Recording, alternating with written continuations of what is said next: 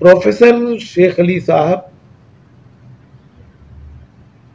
का इंतकाल बरूज जुमेरात लगभग 12 बजे हुआ है। इसकी खबर सारे हिंदुस्तान में फैल गई है लाइक ए वाइल्ड फायर और हर इंसान इनकी, इनके इंतकाल पर अफसोस ज़ाहिर कर रहा है बहुत सारे मैसेजेस आ रहे हैं। शेख अली साहब को मैं भी जानता हूँ।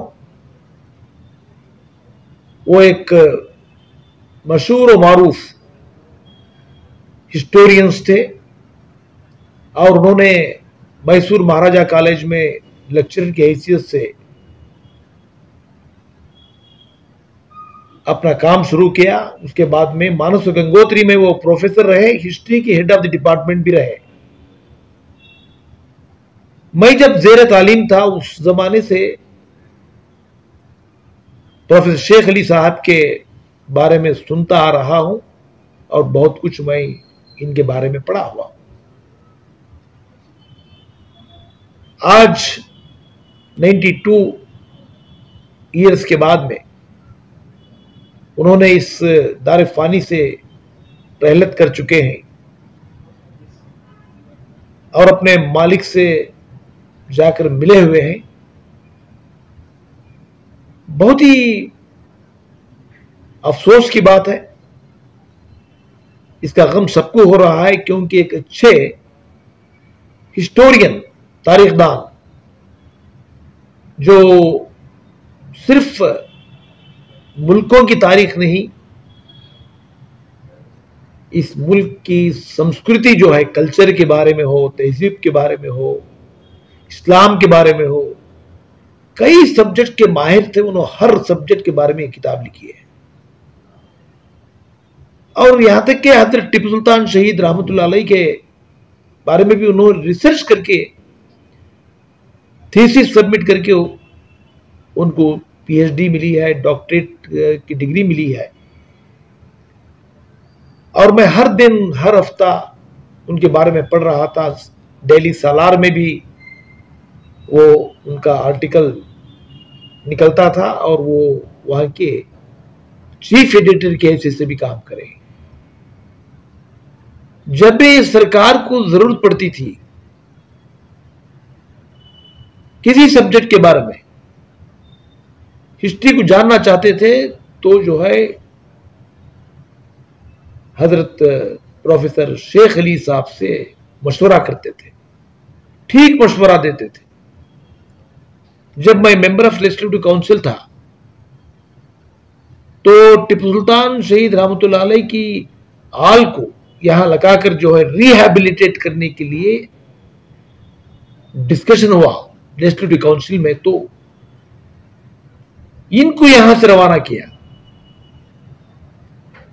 हज़रत यहाँ से लखनऊ गए, बनारस गए, उनके खानदान वालों की हालत क्या है इकोनॉमिक पोजीशन क्या है, उनका कारोबार क्या है, उनके लिए रहने मकान है यानी डिटेल इन्वेस्टिगेशन करके उन्होंने सरकार को रिपोर्ट पेश की थी।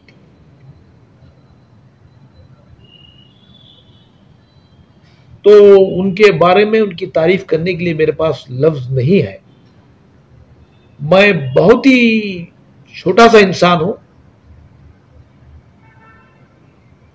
एक रागी के दाने के बराबर। इनके बारे में अगर बात करना है, इनके जो अचीवमेंट के बारे में बात करना है, मेरे से सौ या हज़ार गुना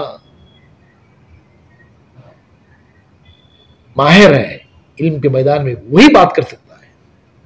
जो भी बात करेंगे, जो भी तारीफ़ करेंगे, वो कम पड़ जाएगी। ऐसे तो बहुत सारे अवार्ड्स मिले इनको। अलमीन अवार्ड मिला, उसके बाद में कन्नड़ राज्योत्सवा का अवार्ड मिला बहुत सारे अवार्ड्स मिले हुए हम जो गिन नहीं पाते। तो एक जमाने से हर दिन, हर हफ़्ता जब भी उनका आर्टिकल सालार में आता था तो उनकी याद दिलाता था। मगर आज मौत ने इस दुनिया से उनको लेकर गई है। हम सिर्फ़ इतना कह सकते हैं कि अल्लाह ताला उनकी मगफरत फरमाए, जन्नतुल फिरदौस में आला मकाम देवे। और उनके जो जो जो किताबें लिखी हैं, वो हमारे साथ नहीं है। आने वाले कई सदियों तक उनकी याद हमको, हमारी, उनकी याद हमारे में ताज़ा रहेगी और वो हमारा मार्गदर्शन करती रहेगी। शेख अली के जिसम को मौत आई है, रूह को मौत नहीं आई, उनके कंट्रीब्यूशन को मौत नहीं आई। वो हमेशा हमारे साथ रहेंगे, उनकी याद दिलाते रहेंगे और वो हमारी रहनुमाई करेंगे।